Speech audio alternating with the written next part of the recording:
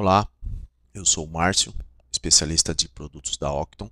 Estou começando agora esse canal, qual intitulei Octon Brasil. O objetivo desse canal é compartilhar dicas, funcionalidades dos softwares da Octon. Estarei abordando os nossos softwares que são ferramentas específicas para engenharia reversa e também inspeção. Uh, vamos ver aqui uh, o DesignX em suas funcionalidades também vamos ver aí as versões do DesignX. Também vou estar abordando o nosso plugin, ferramenta de engenharia reversa, que está implementada na interface do SolidWorks.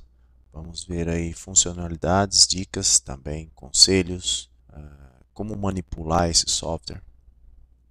Também vamos ver funcionalidades e aplicações do RAP, qual traz ainda no parâmetro engenharia reversa todas as facilidades de tratamento de uma nuvem de pontos ou de uma malha poligonal, chegando até um modelo de superfícies otimizado para atender a sua necessidade.